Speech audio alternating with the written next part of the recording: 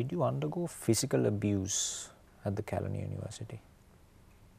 Yes, mentally and physically. Uh, I'm an exceptional person in this country. I achieved my goals in life, but I lost a great father. Certain things I can't say in media.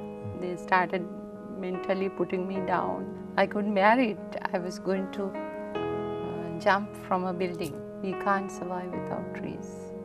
Trees are also breathing. Because of that, we are able to breathe. Being lonely is sad. I don't like to be on television.